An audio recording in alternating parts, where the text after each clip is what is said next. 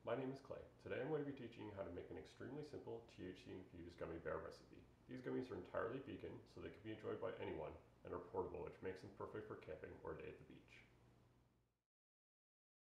The first thing you will need is some Green Dragon, which is decarbed cannabis extract in an alcohol solution.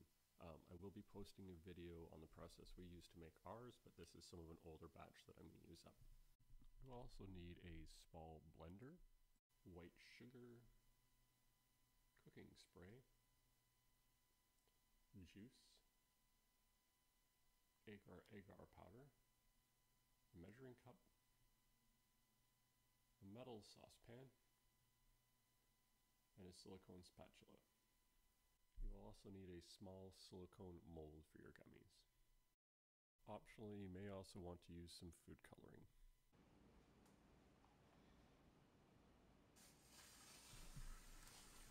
You're going to want to give your candy molds a pretty good coating with the cooking spray and then daub off the excess from the top of the molds using a dry cloth.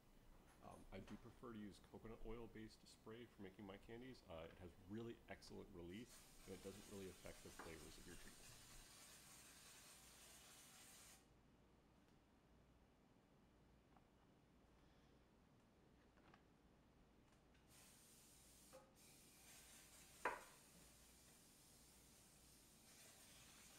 Using a little more spray than you ensures it greases the tiny nooks and crannies of these gummy bear molds. If your molds are more simple, you probably don't need to go hot wild. So as you can see, our gummy molds have a pretty good sheen of oil, but the excess is drained off so it's not really pooling anywhere. You will want to pre-chill your molds, so throw that shit in the freezer. Next you will need to prepare your agar-agar flakes, or kanten. Agar-agar is a plant-derived gelatin substitute and it has a few properties that lend itself particularly well to making cannabis gummies. In addition to being entirely vegan, it handles setting alcohol better than gelatin, has absolutely no flavor and stands up to room temperatures when set, which is perfect if you like to take your gummies to the lake or camping.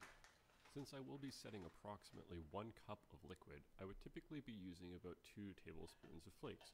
However, since we are setting a recipe containing alcohol, a fair amount of sugar, in a mixture that contains a high level of acidity, we're going to use a total of three tablespoons. This will result in a slightly firmer gummy, but we don't need to worry about them spontaneously melting. I like to use agar-agar flakes rather than pre-powdered agar, which tends to set a little bit more densely. However, this means you do need to powder your flakes prior to use or you will have itty bitty gritty gummies. A quick shake around in a small blender or coffee grinder will get us the light, powdery texture we are after. You will need to pick a fruit juice or a fruit puree as the liquid component for your gummy recipe. Avoid using juice that's overly acidic, such as apple or lemon juice. You're going to need to measure out approximately 6 ounces. Slightly more or slightly less won't throw off the recipe too much since you can bring the total up to an even cup when you add your green dragon. Next you will want to add 2 ounces of green dragon. This amount can vary depending on how strong you want your gummies to be as long as the net total of liquid you are working with works out to 1 cup. Using this ratio from this batch of Green Dragon, I know from experience my gummies will contain approximately 5 milligrams, which is a relatively light dose for most people. When in doubt, test it out at a lower dosage and build from there. Next you'll want to start heating the liquids you'll be setting. You will start with the juice. Turn your stove to a medium-high setting. What you're looking for is a very gentle simmer, but not so hot that you scorch your sugars. You'll want to whisk this liquid continuously the entire time the heat is on. Just before you reach your simmer is your opportunity to add additional sugar if you so choose. Keep in mind a higher sugar content may affect the stability of the finished gummies.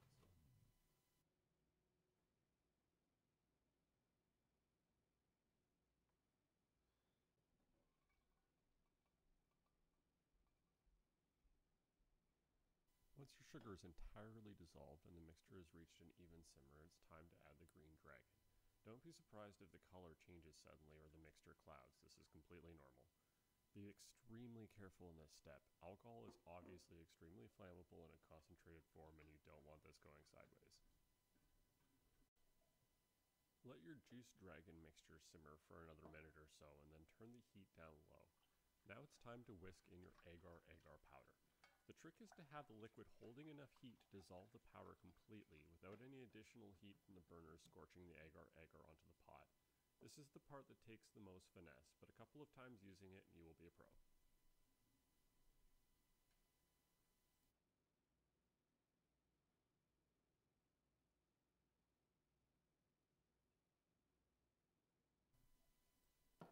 To whisk your powder pretty aggressively for about a minute, or until no more suspended powder is visible in the mixture. From this point on, you'll need to work fairly quickly as the mixture is losing heat and will soon begin to set. Next, remove your mixture from the heat entirely, and begin to add food coloring, a few drops at a time.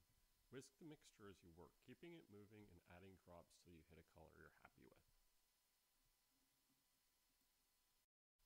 It's important to try and keep the mixture moving as much as possible during this step, as the agar agar will begin to thicken and you want to avoid burning your food coloring, which tends to scorch easily.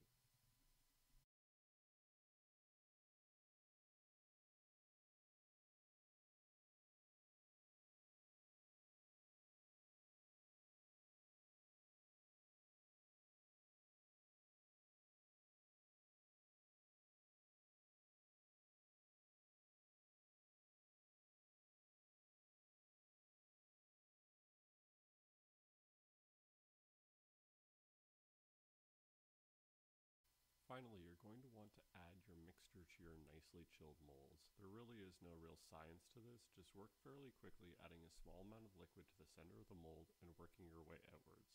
A small flat spatula, or flatula, will help make spreading the mixture to the edge of the mold easier and allow you to move any excess where it's needed.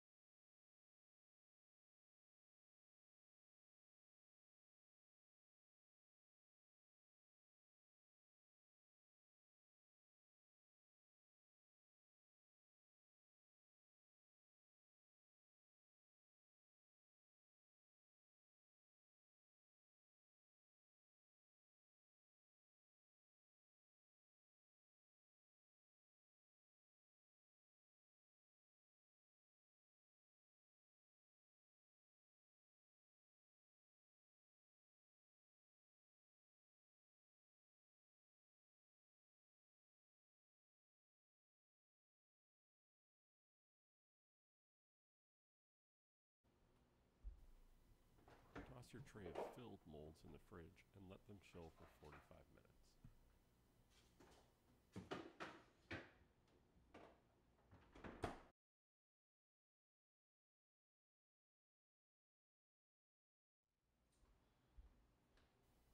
Now it's time to demold your gummies. Start by sifting some cornstarch onto a tray, ideally over some parchment, but all I had on hand was tinfoil. This will coat your gummies and help keep them from sticking together.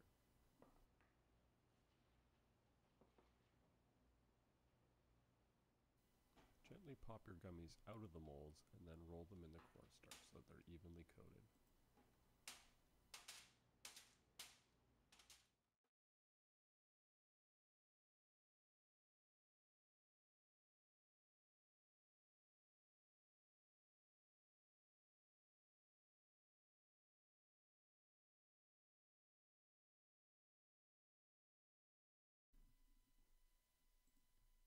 As an optional final step, you can make your own homemade sour powder for your gummies using 2 tablespoons cornstarch, 1 tablespoon of icing sugar, and a half a teaspoon of citric acid. This will give you a moderately sour flavor, but keep in mind citric acid is horrible for your teeth. Shake your gummies gently around in this mixture and they are ready to store. You can keep your gummies for a few days in the fridge or for several hours at room temperature, but if you need to store them for longer periods of time, I recommend freezing them. The gummies will remain stable and edible at room temperature, but they will eventually dry out and shrink if out for more than an afternoon or so. They will keep in the freezer for a few months as long as they're stored well and in an airtight container.